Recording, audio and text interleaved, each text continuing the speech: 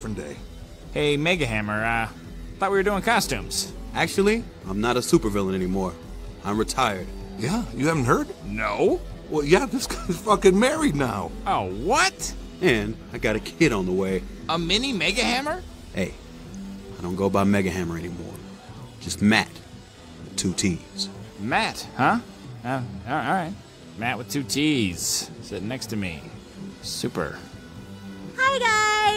Welcome to Buffalo Wild Wings. My name's Wendy. Can I get y'all started off with some drinks? Hmm, I am gonna have your house IPA. I will also have your house IPA. I'm gonna have the other IPA. Alright, cool. Sounds great. Should I get some waters for the table?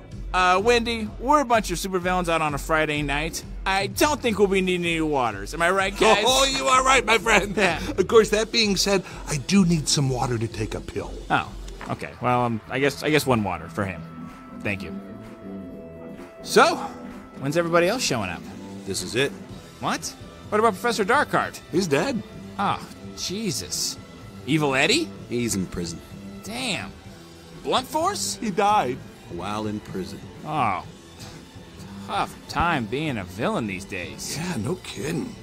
You know, I'm actually thinking about maybe retiring myself. What? General, come on. What are you gonna do?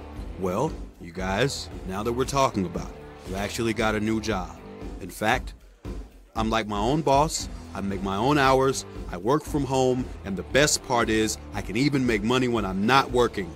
I'd love to talk to you guys about this All right, exciting. Matt, Matt, don't don't be that